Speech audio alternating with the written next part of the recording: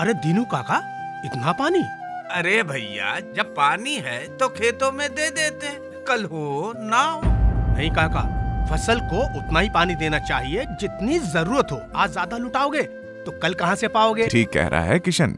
किसान भाइयों हमेशा याद रखो फ़सल को ज़रूरत के अनुसार ही पानी देना चाहिए। ज़्यादा पानी ज़्यादा फ़सल तो नहीं देगा उपज कम कर देगा। फ़सल बढ़ने के साथ पानी की ज़रूरत बदलती रहती है। ज़्यादा दिया पानी खेतों को खराब कर देता है। अपने क्षेत्र में जल आपूर्ति के अनुसार ही फ़सल का चयन करें। सिंचाई के लिए सूक्ष्म तकनीकों का इस्तेमाल करें जैसे ड्रिप इरिगेशन और स्प्रिंकलर। खेतों में फ़सल में पानी भरा न रखें। मैं सब समझ गया। दीनू तो समझ गया। लेकिन किसान भाइयों, ये बात आपको भी समझनी होगी। जल संरक्षण ही आपकी कृषि का आधार है।